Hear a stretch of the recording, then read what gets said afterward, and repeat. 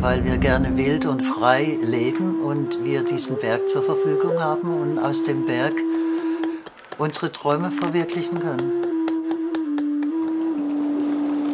Moi, je suis pas derrière les œufs, je suis pas derrière tirer profit d'eux. Je suis là pour les servir et pour apprendre.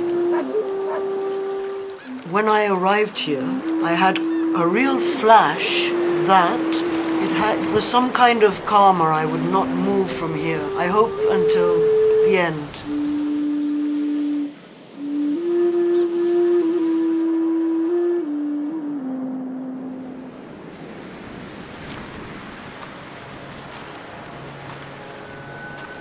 What are we waiting for to say that we lived freely?